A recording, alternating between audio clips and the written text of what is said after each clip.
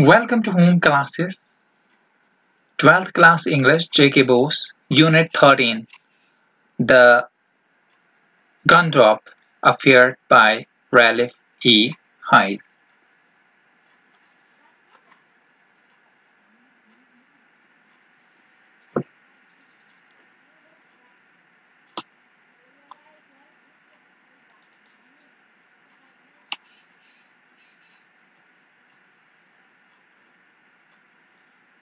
It is a short story अगर हम देखें राइटर के बारे में तो राइटर यहाँ पे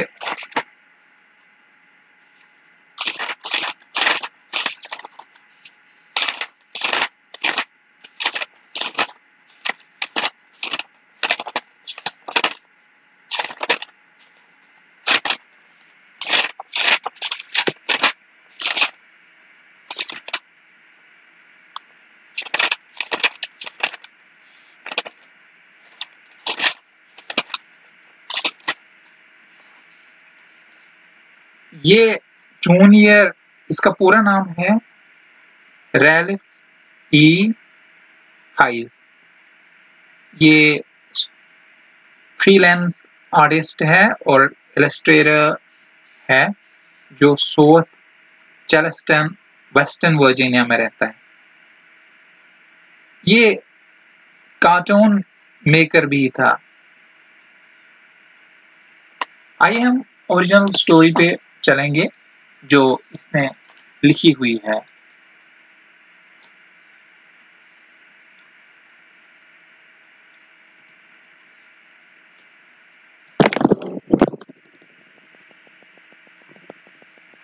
जैसे कि आपकी टेक्स्ट बुक है, वहाँ पे लिखा हुआ है गम ड्रॉप अफेयर और बाकी जगहों पे जो रिसोर्सेस मैंने तलाश किए उन पे लिखा है गन ड्रॉप अफेयर दोनों में कंफ्यूजन है। मैंने टाइटल इसलिए गम ड्रॉप अफेयर दिया है क्योंकि आपके बुक में गम ड्रॉप अफेयर ही टाइटल है। इसलिए बहरहाल जो इसका सम एंड सबस्टेंस है, आइए उस पर हम ज़्यादा फोकस करें। It's a sort of detective story written by Ralph E. Hayes, a Western Virginian writer. It focuses on the undeniable truth that exteriors are defective and that humans should not judge by their external appearances, which are more often misleading and beguiling. ये मगरबी Virginia के मुसनफ रैलिफ आई हियस की लिखी हुई एक तरह की जासूसी या मुख्तसर कहानी इसने नाकाबले तरदीद सच्चाई पर तवज्जो मरकूज की है कि ज़ाहरी फरेब वाले इंसान और इनके बैरूनी नुमाइशों के ज़रिए इनकी जो है वो नुमाइश नहीं की जा सकती है, जो ज़्यादा गलत रास्ते पर चलाने वाले भी होते हैं और गुमराह भी होते हैं। आगे बढ़ेंगे।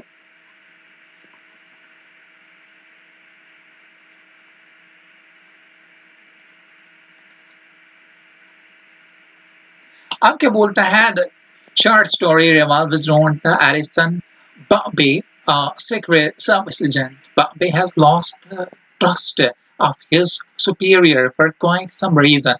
He has come of age, being around 40, has put up fat, has balled considerably, and also seemingly lost smartness. He also lacked killer instinct, trapped inseparable from a detective. He never carries a son, lest he should kill anybody even by mistake. मुख्तसर कहानी Anderson बाबे के गिरद घूम रही है या घूमती है। ये एक खुफिया एजेंट है। बारबे ने कुछ वजूहत की बिना पर अपने आला अफसरान का एतमाद खो दिया है। इसकी उम्र तकरीबन 40 साल के करीब है। इसने चर्बी लगाई हुई और काफ़ी गंजापन जो है वो ज़ाहिर हुआ है या दिखाई दे रहा है। और बजाहिर इसकी खूबसूरती भी अब खत्म हो चुकी है। इसके पास एक कातलाना चुबलत का फुकदान है, जो एक जासूस के पास लाजमन होता है। और इसने और इसने बंदूक उठा रखी है। कहीं ऐसा ना हो कि वो गलती से किसी को हलाक कर दे आगे बढ़ेंगे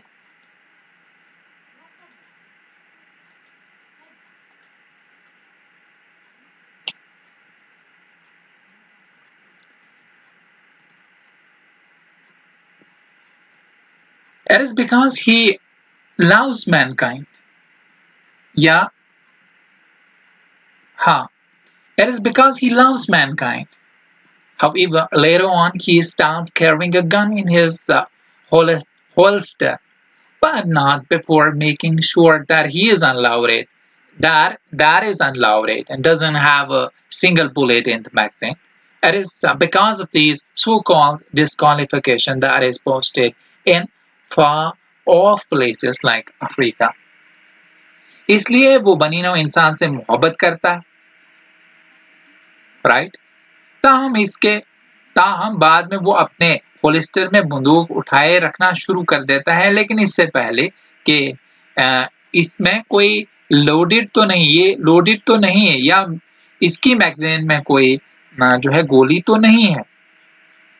इन नाम ना, नहल ना एहलू की वजह से ही वो अफ्रीका जैसे दूर दराज मकाम पर तैनात है। आगे बढ़ेंगे।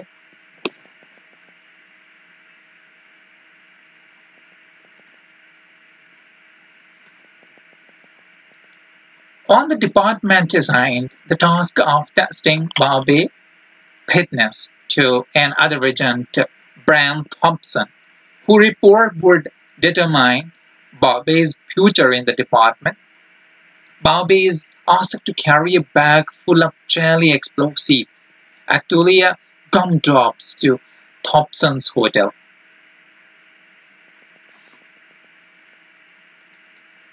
एक बार जब महकमा बारबे की फिटनेस को जांचने का काम किसी दूसरे एजेंट ब्रैन थॉम्पसन को सौंप देता है, जिसकी रिपोर्ट में महकमा में बारबे के मुस्तकबल का तयन होगा। बारबे से कहा जाता है कि वो जाली धमाका खेज मवाद से भरा हुआ बैग दरअसल गुम कतरे, थॉम्स के होटल के कमरे के बाहर ले जाएँ।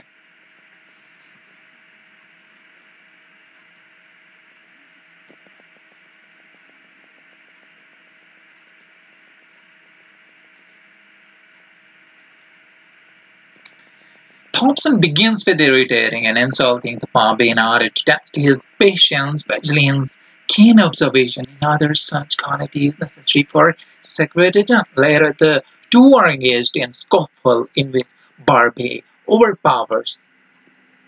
Thompson बारबे को परेशान करने और उसकी तोहीन करने के साथ शुरू होता है ताकि खुफिया एजेंट के आ, आ, जो ज़रूरी खबर है यानी कि जो उसकी ऑब्जर्वेशन है, निगरानी है और गहर मुशाहिदा, गहरी मुशाहिदा वाली नज़र है और इस तरह की दिगर खसूसियात को जांचा जा सके। बाद में दोनों एक झगड़े में मगन हो जाते हैं और जिसमें बारबी ने जो है वो कामयाबी हासिल की हुई होती हो जाती है या उसको जो है वो ताकत हासिल हो जाती है।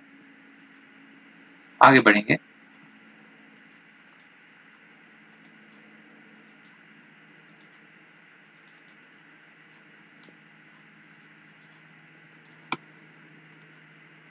Thompson by using a trick or two of Jaro as substitute for using a loaded gun. When he is about to leave, Thompson handcuffed with the hotel room um, badpost. The secretary is disclosed to him with the news that he has passed the test. Thomp's uh, बरी हुई बंदूक का इस्तेमाल करने के मुतबादल के तौर पर दो ठोस जाडो का इस्तेमाल कर, करता है। जब वो थाम्स को होटल के कमरे में बेड पोस्ट के साथ हथकड़ी से बांधने जाता है तो उससे राज खुल जाता है और इन्हें खबर हो जाती है या इस खबर के साथ ही उनका जो है वो इंकशाफ किया जाता है कि उसने टेस्ट उसने टेस्ट पास किया है।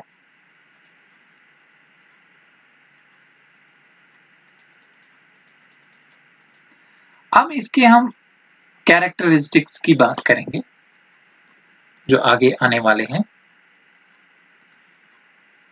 तो ये एडिसन बनाबे का कैरेक्टर है। पहले हम इसको पूरा इंग्लिश में पढ़ेंगे और उसके बाद उसका उर्दू में या हिंदी में तर्जमा होगा इसकी ट्रांसलेशन होगी Addison Bombay is the hero of Ralph E. Hines, the Gumdrop Affair, a detective uh, story, short story, conveying the message that human personality can't be and should be judged by the exterior appearance, but by the in, inner content of the person. Addison Bombay is a senior member of detective agency. Has lost the goodwill of his superior superiors not because of any fault or mistake on his part, but because of his growing years, adding weight, getting ballad, and about all uh, lacking killing instinct and uh, all too important uh, trend supposed to be uh, uh, possessed by the secret agent and his lacking killer instinct is not because of the uh, cowardice but because of his unstable love for mankind.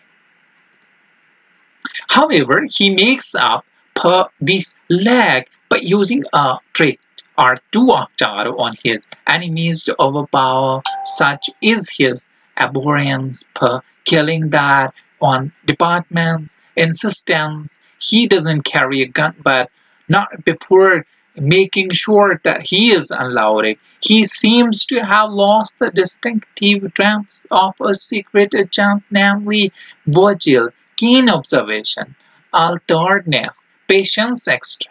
But he possesses them to extreme when put to test, and it is on account of his all too um, ordinary external appearance that the department always posts him poor places, thus justifying the statement that he is more signed against the singing.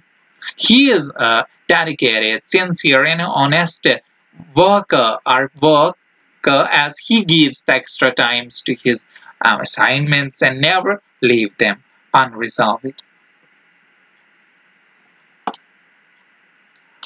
Barbe Ralph um, I is के hero हैं।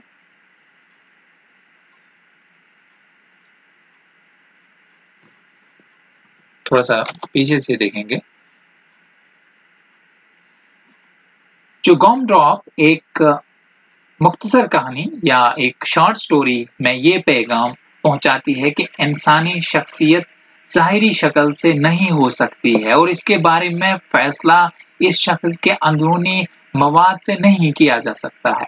Edison बार्बे एक जासूसी agency का member है और इसने अपने अफसरान के खैर ख्वाही या एतमाद जो है वो खो दिया है, जो अपनी तरफ़ से किसी गलती या गलती की वजह से नहीं, बल्कि बल्कि बढ़ते हुए सालों की वजह से है।